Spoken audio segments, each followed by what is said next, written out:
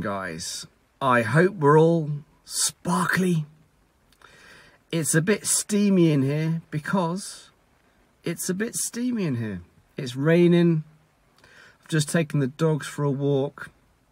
I thought I'd do a quick video because I've been having a chat with one of my guys who is supporting our first traumatic brain injury patient through the early stages of the process.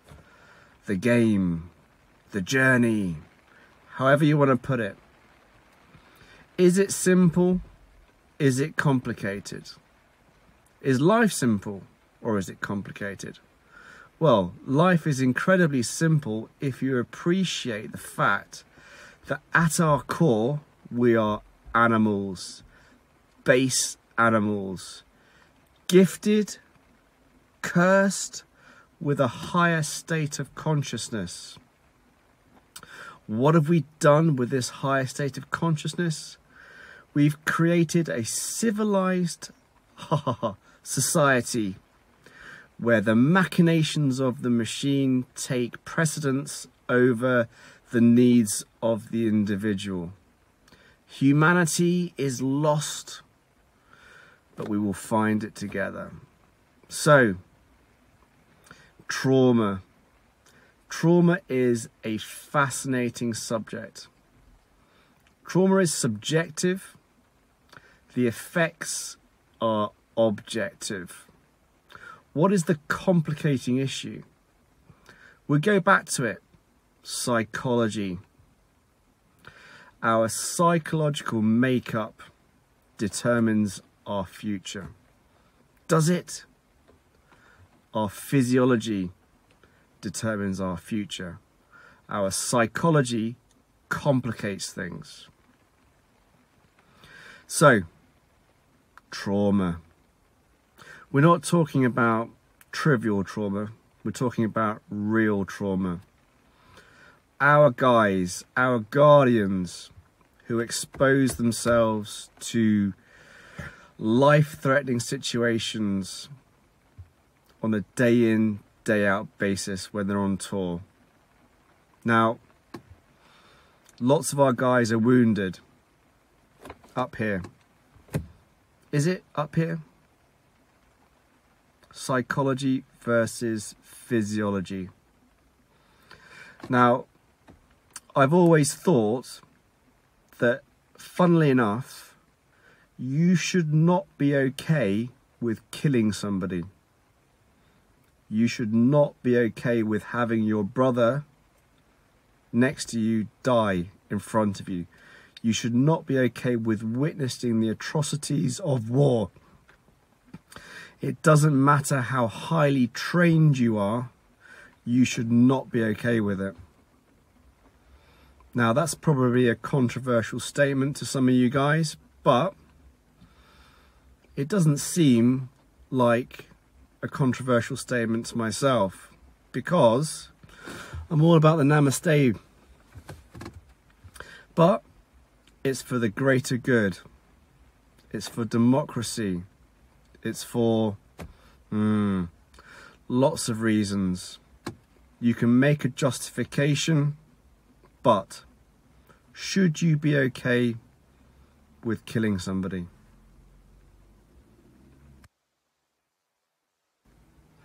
It doesn't matter about the rationalization for the act. Should you be okay with this? I don't know. But these guys place themselves in harm's way for you to protect your freedoms. Freedoms, COVID, freedoms, freedoms that are being taken away from us Scary times. But let's not go there. Vitamin D, vitamin C, zinc, fresh air. Controversial, not controversial. Protect your immune system. Have healthy androgen levels. You will be strong, fit to fight, fit to fornicate.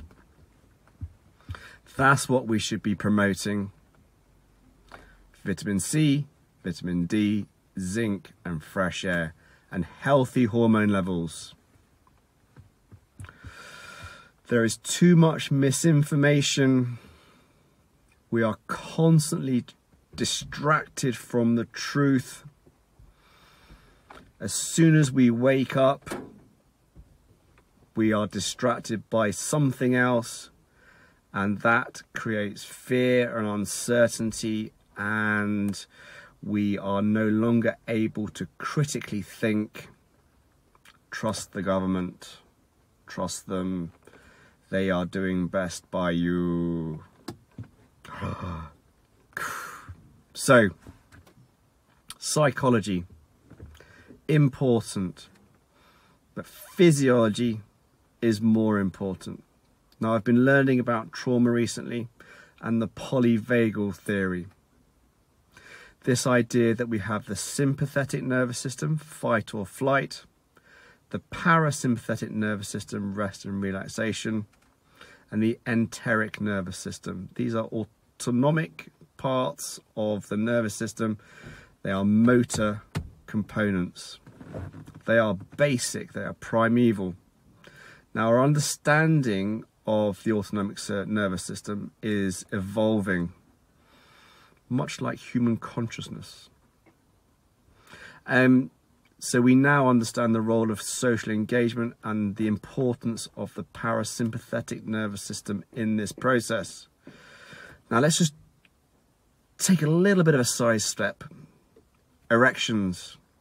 What are erections? Erections are parasympathetic. You are not supposed to be horny goat boy in a time of danger, fight or flight. There's no point getting a boner when you're faced with a saber-toothed tiger. So erections, parasympathetic, rest, relaxation, social engagement, pleasure. Who doesn't love a bit of pleasure? Orgasms are sympathetic. A lot, a lot of people know that. Um, cool. Tangent. So, polyvagal. Sympathetic, fight or flight. Parasympathetic, rest, relaxation, social engagement, pleasure. And there's another part. There is the dorsal vagal nerve. Now let's go back to this idea that we are base animals. I'm going to give you an example. When a lion tracks a gazelle and grabs it by the throat, what happens to the gazelle? It goes limp. Tonic immobility. It is a survival mechanism. It is a survival mechanism when a animal is faced with a life-threatening situation. Now, what would be the point in the gazelle continuing to struggle with the lion grabbing its neck or its hindquarters? A lion is far more powerful. It is going to kill that gazelle. So what should it do? continue to struggle or go limp? Why would it go limp? Well, one theory is the thought that lions don't want to eat bad meat. They want live flesh to munch upon. Another thought is that facing certain death, what's the point in struggling? What they're trying to do actually is wait for an opportune moment to escape. Facing certain death, certain death, there is no rationalization in struggling. So they have this period of tonic immobility. They no longer feel pain, they no longer feel emotion. There is no point in being in pain or feeling emotion facing certain death. So it is a survival mechanism.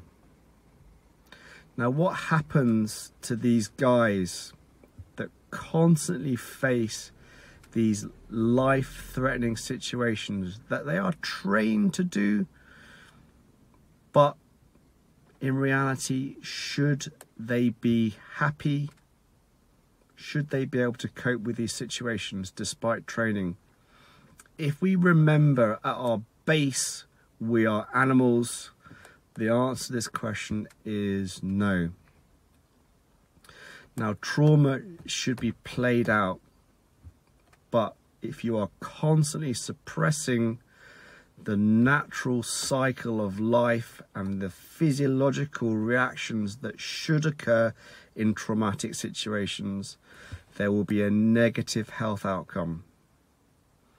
Will it be psychological? Will it be physiological? So, the neuroendocrine system becomes dysregulated. And the fundamental part of my part in this journey to help guys in the UK is to normalize the neuroendocrine dysregulation so that psychological therapies can be effective. Understanding that trauma is a physiological problem, not a psychological problem. Life is very simple, but we make it complicated with this. We do not use it properly. Isn't trauma fascinating?